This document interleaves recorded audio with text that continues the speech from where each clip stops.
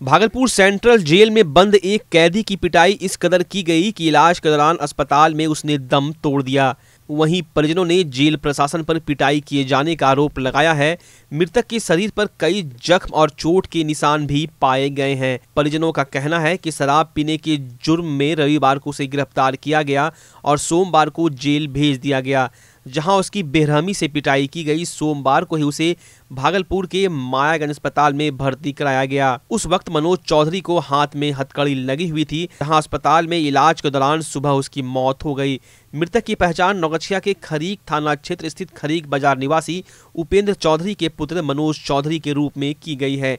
परिजनों का कहना है कि उसी रात भागलपुर के मायागंज अस्पताल में भर्ती कराना पड़ गया। मनोज के शरीर पर मिले जख्म को देखकर यह सहज अंदाज़ा लगाया जा सकता है कि उसकी जेल के अंदर किस तरह से पिटाई की गई होगी।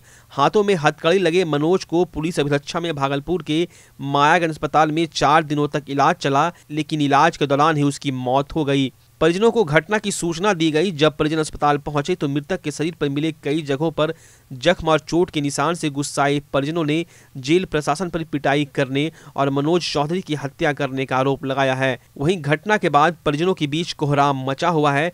मृतक के परिजनों का रो रो कर बुरा हाल है। परिजन इस मामले की जाँच किए जाने की मांग कर रहे हैं। कैसे हुआ ये मामला? रविवार को दिन हल्का शराब पीने में पकड़ा है ठीक। तो ग्यारह बजे रात में पकड़ा तो सोमवार के दिन इनको जेल भेजा।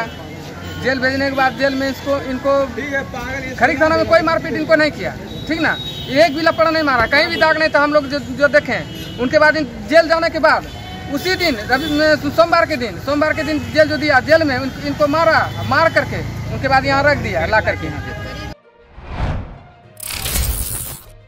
जगदीशपुर प्रखंड में पंचायत चुनाव का नामांकन कार्य पाँचवें दिन भी काफ़ी ज़ोर शोर से हुआ। प्रत्याशियों के समर्थक भी काफ़ी अधिक संख्या में प्रखंड परिसर पहुँचे, जहाँ बार बार माइकिंग कर प्रखंड परिसर में नहीं आने की आग्रह करते रहे, लेकिन प्रत्याशी समर्थक काफ़ी संख्या में जुटते रहे। प्रखंड के चौदह पंचायतों में से पाँचवें दिन 409 प्रत्याशियों ने नामांकन पर्चा भरा, जिसमें मुखिया प्रत्याशी के लिए 35 प्रत्याशियों ने नामांकन दाखिल किया। सरपंच पद के लिए 32 एवं पंचायत समिति सदस्य के लिए 24 प्रत्याशियों ने नामांकन दाखिल किया है। वार्ड सदस्य के लिए कुल मिलाकर दो सौ सत्ताईस प्रत्याशियों ने नामांकन कराया। पंच पद के लिए बिरानवे प्रत्याशियों ने नामांकन कराया है। वार्ड प्रत्याशियों की संख्या अधिक होने के कारण अतिरिक्त काउंटर की व्यवस्था की गई थी। मुखिया, सरपंच, पंचायत समिति, वार्ड सदस्य पंच पद के लिए शाहजंगी, चांदपुर, इमामपुर पुरानी टोला सोनूचक, जगदीशपुर पंचायत, सनहौली, जमनी, सैनो, भवानीपुर, देसरी, बैजानी खिर्री बाँध पंचायत के सभी प्रत्याशियों ने अपने समर्थकों के साथ पहुंचकर नामांकन दाखिल किया। विधि व्यवस्था बनाए रखने के लिए पुलिस भी अपनी ड्यूटी पर मुस्तैद दिख रही थी। और पूर्व में भी हम मुखिया पाँच साल रह चुके हैं वर्तमान में 2016 में निर्वाचित हुए थे। आज जनता का बहुत आभार, प्यार है, जो दोबारा फिर हमको मुखिया रूप में देखना चाह रहे हैं। जनता का आशीर्वाद है। क्या मुद्दा रहेगा? मुद्दा विकास का रहेगा जो भी विकास हुआ है जो भी बाकी है वो सारा विकास किया जाएगा। शिक्षा पे क्या रहेगा विशेष शिक्षा पे भी बहुत अच्छा हम लोग का स्कूल का चल रहा है चूँकि कोरोना काल है तो इसमें भी तो जानिए रहे शिक्षा का क्या स्थिति है बाकी उसमें सुधार होगा। हमारा मुद्दा है समाज का सेवा करना और ऐसे भी हम समाज की सेवा के रूप में काम करते रह रहे हैं काम करते आए हुए हैं। मेन विषय क्या है कि सरकार जो योजना देती है, उस योजना से हमारी जनता जो वो बिल्कुल प्रे हो जाती है, उसको कुछ पता नहीं चलता। और प्रतिनिधि जो आते हैं, उस योजना के विषय में जनता को बताते नहीं है, वो बीच में रख लेते हैं। मेरा काम है कि उसको जोड़ना, वो जोड़ के सरकार का जो काम है, हम उनके आगे सामने रखें और समाज के रूप में काम करते रहें। गाँव में सबका स्वास्थ्य अच्छा हो, सबको भरपूर बिजली मिले, पानी मिले। क्योंकि आगे जनप्रतिनिधि सोचते हैं क्या कि रोड और नाला बनाया तो ये विकास है। हम नहीं मानते हैं इस विकास को।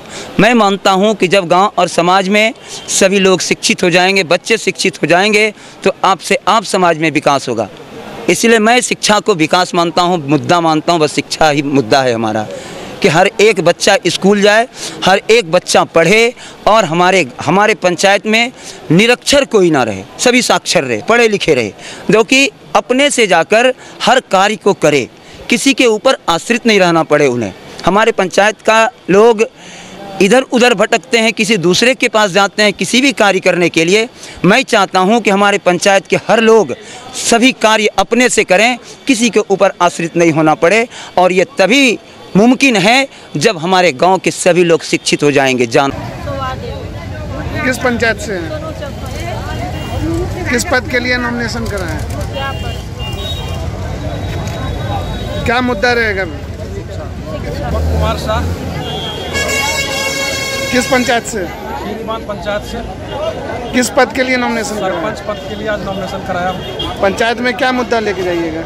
पंचायत में मुद्दा है, बस यही हम लोगों का है कि अपराध कम हो, लोग कचहरी नहीं पहुँचे, गाँव में जो है सौहार्दपूर्ण वातावरण में सुलह हो। और पिछले कार्यकाल में बहुत सारे ऐसे समझौता मैंने कराया है, अगर वो कोर्ट कचहरी पहुँच जाते तो उससे बहुत खर्च होता, बहुत परेशानी होती। और थाना पर लगभग 45 परसेंट कम हो गया, मुकदमा जाता सारे ग्राम कचहरी निपटा रहा हूँ आगे कोशिश रहेगा कि 45 को बढ़ा के हम जगदीशपुर प्रखंड में पंचायत आम चुनाव के लिए प्रत्याशियों का नामांकन जोरों पर है। उसके लिए प्रखंड कार्यालय में आईटी सेल बनाया गया है, जहाँ सभी प्रत्याशियों का नामांकन लोड किया जा रहा है। आरटीपीएस सेंटर में बने आईटी सेल में गोराडी, नाथनगर, सबौर एवं जगदीशपुर के आवासीय कार्यपालक सहायकों को ड्यूटी पर लगाया गया है। दानिश की अध्यक्षता में बनाए गए आईटी सेल का सर्वर काफ़ी घंटों तक स्लो रहा, जिस कारण प्रत्याशियों का ब्यौरा नेट पर अपलोड नहीं किया जा रहा था। दानिश ने बताया कि सर्वर स्लो होने के कारण हम लोगों को काफ़ी परेशानियों का सामना करना पड़ रहा है। साधारण परिस्थिति में तो हम लोग अच्छे तरीके से काम करते हैं, लेकिन सर्वर स्लो होने के कारण त्वरित गति से कार्यों का निष्पादन नहीं हो पा रहा है, जिससे प्रत्याशियों का ब्यौरा लोड होने में कठिनाई हो रही है। पूरे देश में राष्ट्रीय विधिक सेवा प्राधिकार के निर्देश पर अदालतों में दीवानी और फौजदारी मामलों के साथ सुलहनिया मामलों के बढ़ते आंकड़ों को कम करने के उद्देश्य से राष्ट्रीय लोक अदालत का आयोजन किया गया, जिसमें फौजदारी, दीवानी और सुलहनिया मामलों जैसे बैंक, टेलीफोन, बिजली और पानी की समस्याओं को ऑन द स्पॉट निष्पादित किया गया।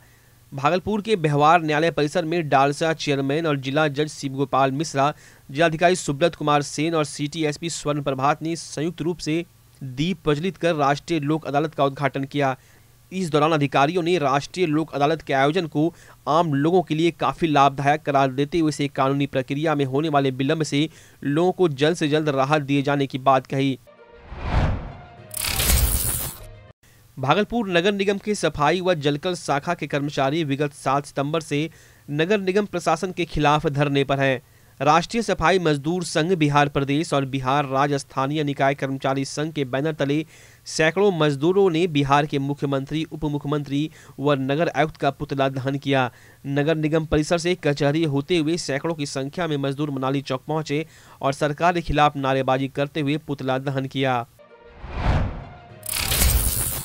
निगरानी विभाग भागलपुर प्रक्षेत्र के डीएसपी के पद पर कार्यरत सुरेंद्र कुमार सरोज का तबादला अनुमंडल पुलिस पदाधिकारी पूर्णिया के पद पर हो गया है। इसके बाद कंबाइंड भवन स्थित निगरानी विभाग के कार्यालय में अधिकारियों व कर्मियों ने माला पहना व पुष्प कुछ देकर उनको विदा किया। सुरेंद्र कुमार सरोज ने कुछ दिन पूर्व सनहौला के पूर्व मुखिया मोहम्मद मुश्ताक द्वारा पंद्रह लाख का गबन करने के मामले में उनको गिरफ़्तार किया था। कटिहार के एग्जीक्यूटिव इंजीनियर अरविंद कुमार व पूर्णिया के कृषि पदाधिकारियों को इन्होंने रंगे हाथ गिरफ़्तार किया था। साथ ही शिक्षक नियोजन में अवैध प्रमाण पत्र पर नियुक्त 110 शिक्षकों पर प्राथमिकी दर्ज समेत कई मामलों का उद्भेदन भी किया है। वह 2011 से यहाँ कार्यरत थे। आज विदाई के दौरान सुरेंद्र कुमार सरोज भावुक हो गए। उन्होंने कहा कि अप्रैल 2011 में यहाँ योगदान दिया। अब तक ब्यूरो में रहकर ब्यूरो के कार्य को सच्चाई से निभाया। सभी अधिकारियों व कर्मियों का सहयोग मिला।